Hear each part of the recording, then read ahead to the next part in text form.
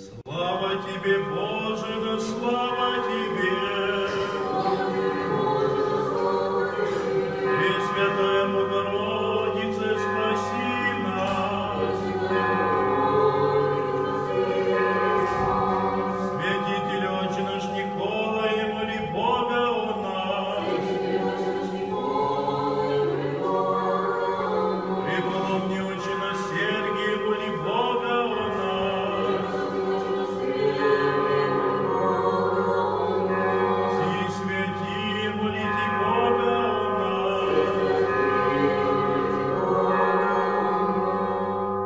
Во имя Отца и Сына и Святого Духа. Аминь.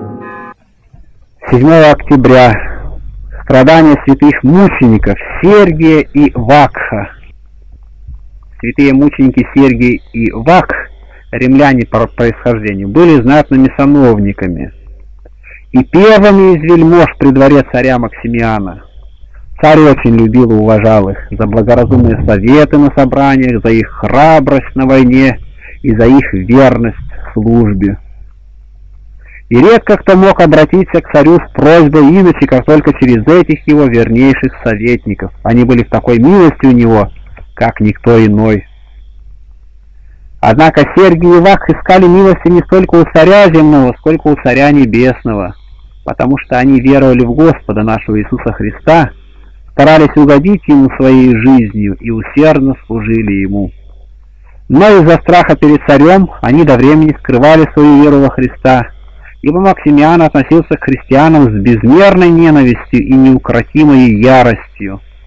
Недолго свет веры Христовой, однако, скрыт в них был под спудом, и скоро для всех открылся явно.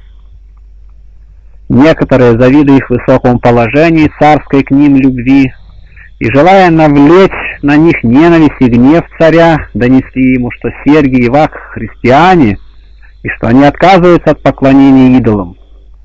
Максимиан не хотел верить, чтобы люди, пользовавшиеся таким его расположением, не согласны были с ним в почитании богов, и стыдился спросить их об этом или обличить, не зная еще того достоверно.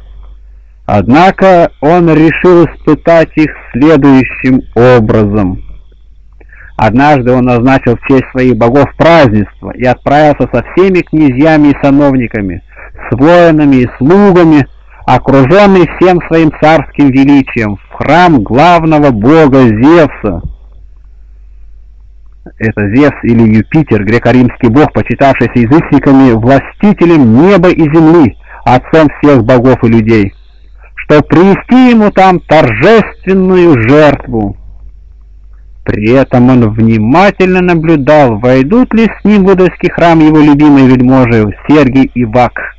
Но когда царь вошел в храм, рабы Христовы остались вне его и не вошли с царем в мерзкое капище. Остановившись вдалеке, они молились истинному Богу, прося его, да просветит он слепоту омраченных очей нечестивого того народа, и да прославит через них Пресвятое имя свое. Царь же, видя, что Сергий и Вах не вошли с ним на торжество, послал слуг взять их и силой привести во храм.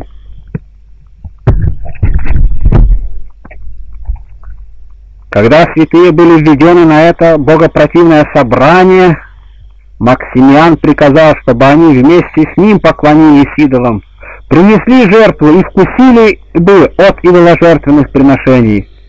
Но Сергий и Вак не хотели исполнить этого царского приказания. «Мы имеем, — говорили они, — Бога на небе, Бога не ложного и не бесчувственного, как бесчувственны ваши идолы, но истинного и живого, содержащего в своей власти весь мир, и ему поклоняемся». И они начали обличать царя за его зловерие, что он честь, подобающую единому Богу, воздает идолам, слепым, глухим и немым. Тогда царь, разгневавшись, велел снять с них все отличия их воинского сана, и воинские поясы, и золотые гривны, и перси, и все одежды, и для поругания одеть их в женскую нижнюю одежду, и возложить на шеи их железные обручи. В этом виде святых стали водить по городу, дабы таким образом столь славные и знатные вельможи римские всем народом были поруганы и осмеяны за почитание единого истинного Бога и поношение ложных языческих богов, или лучше сказать, самих бесов, коим не захотели принести жертвы эти рабы Божии, уже принесшие себя в жертву Христу.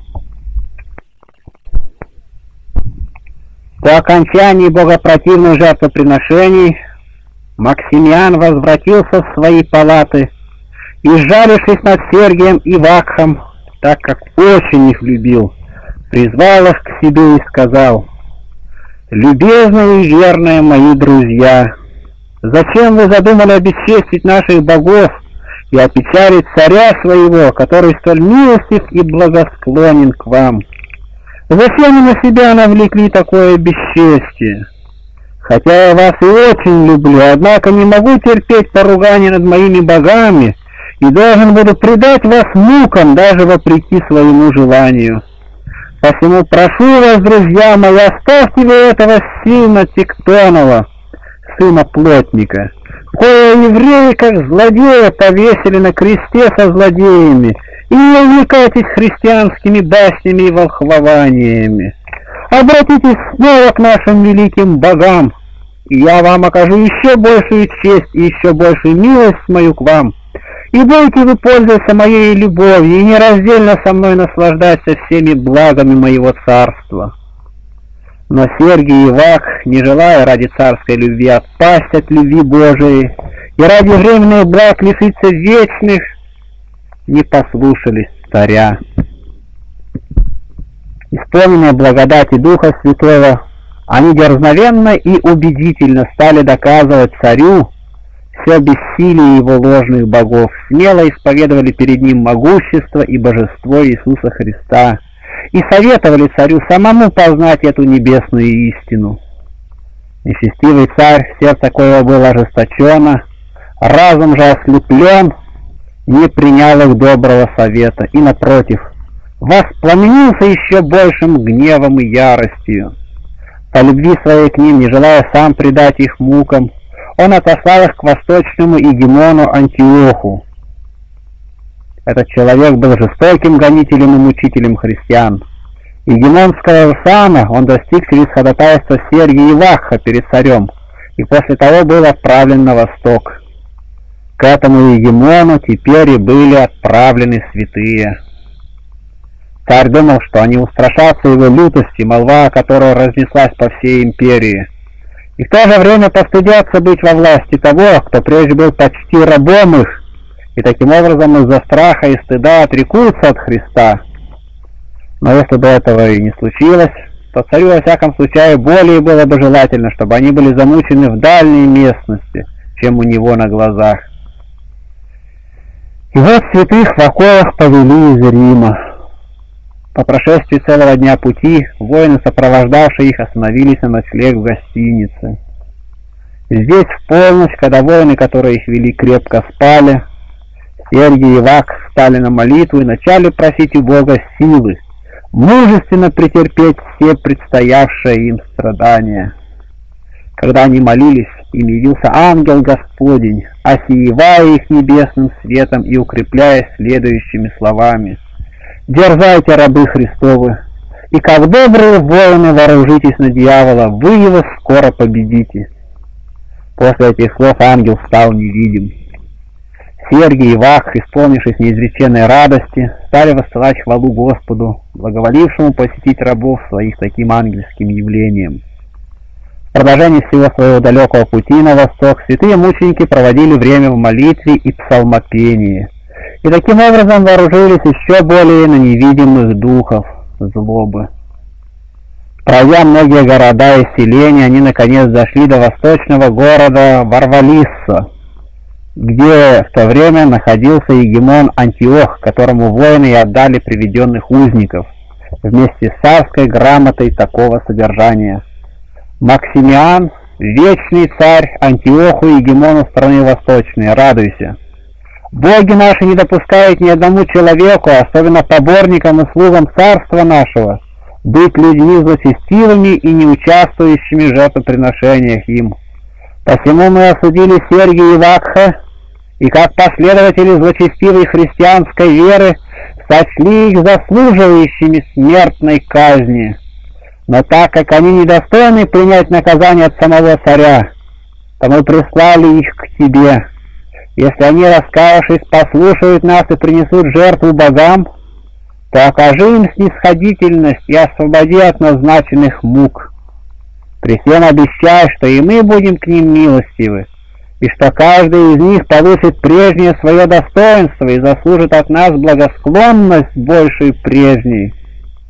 Если же они не будут повиноваться и останутся в прежней злочестивой вере, то предай их заслуженным мукам и осуди на смерть через усекновение мечом. В надежде долгой жизни будь здрав. Прочтя царскую грамоту, Антиох приказал заключить Сергия Вакха до утра под стражу.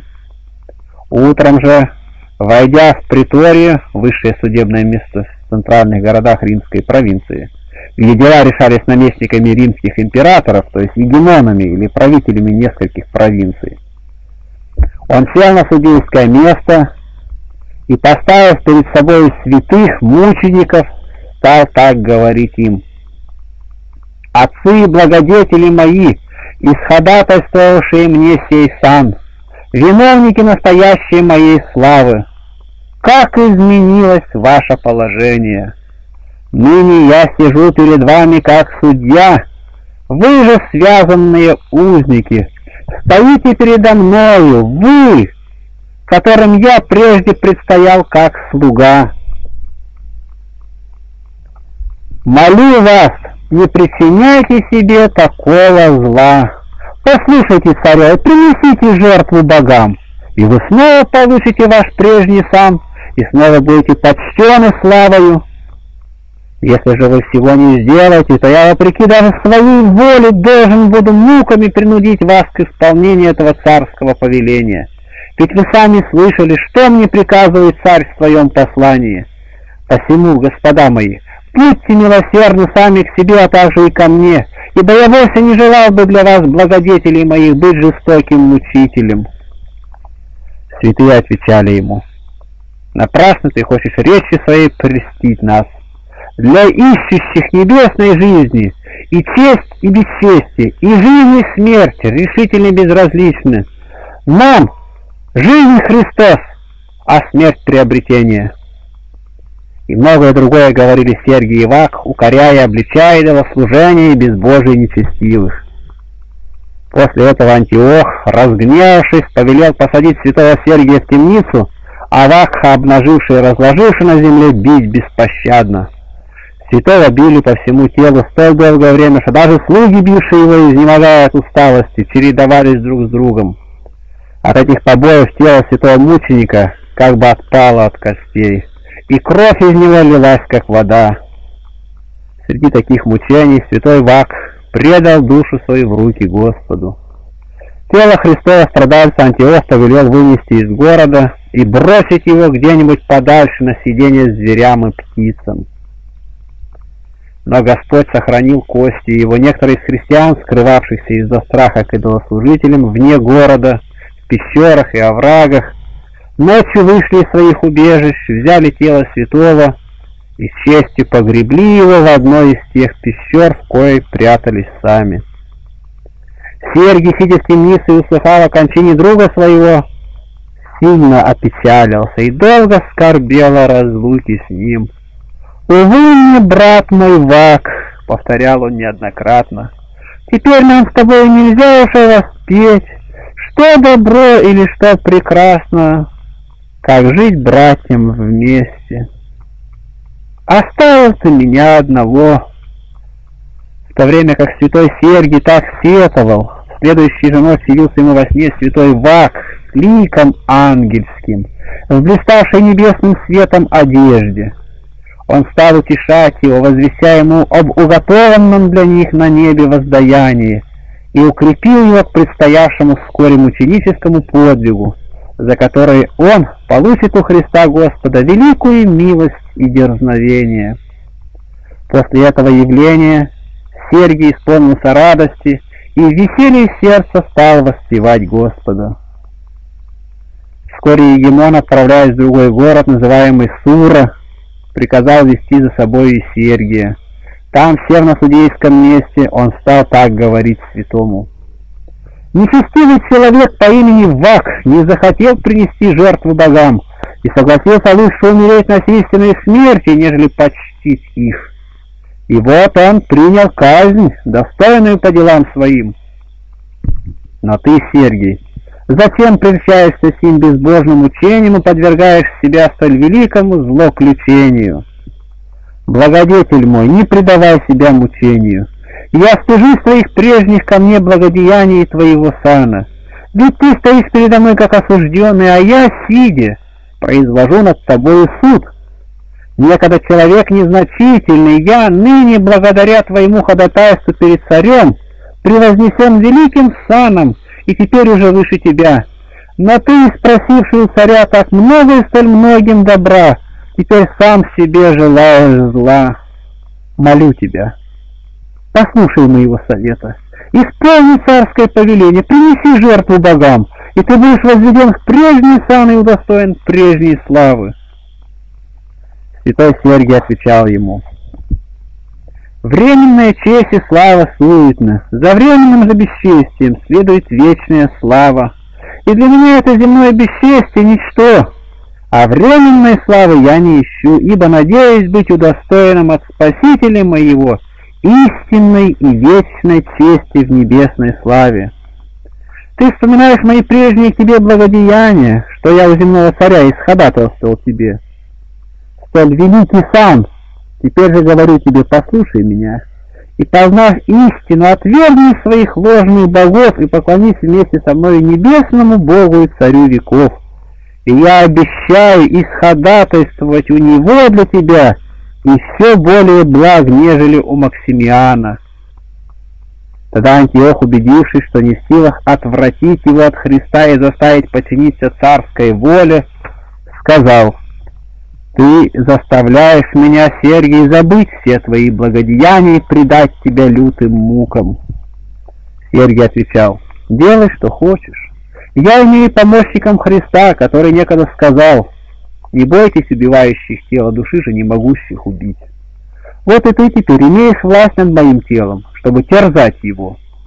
Но над душой моей не имеешь власти, ни ты, ни отец твой, сатана. После этого Антиох, разгневавшись, произнес, «Я вижу, что мое долготерпение делает тебя только еще более дерзким» и повелел обуть его в железные сапоги с острыми и длинными гвоздями на подошве, кои пронзали ноги святого. В такой обуви Антиох велел гнать Сергия перед своей колесницей. Сам же он ехал в город Тетрапильгий, откуда должен был отправиться в город Розафу. Претерпевая такие страдания, святой на пути воспевал. Терпя, потерпел Господа, и Он услышал меня, и услышал молитву мою, и извел меня от рва страстей, и от брения тины, и поставил меня на камни ноги мои, и исправил стопы мои. Когда они пришли в город Тетрапиргий, который отстоял от Суры в двадцати верстах, Мученика повели в темницу. На дороге и к ней он воспевал. «Идущий хлеб мой, возвеличились на меня и поднял на меня пету мою, поставил сеть ногам моим. Но восстань, Господи, в помощь мне, и поставь преграду им, и избавь от нечестивых душу мою». Ночью в темнице, когда мученик молился, явился ему ангел Господний и исцелил раны его. На другой день Антиох приказал вывести из темницы святого Сергия, думая, что от боли он не может и ступить ногами. Увидев же еще и издали, что он идет как совершенно здоровый человек, нисколько даже не хромая, учитель ужаснулся и сказал, «Воистину, сей человек волк, ибо как можно после таких мук ходить не хромая?» А он как будто даже никогда и не страдал ногами. После всего Антиох велел обуть мученика в те же сапоги и вести перед собой до а до него от города Суры было расстояние 70 стадий.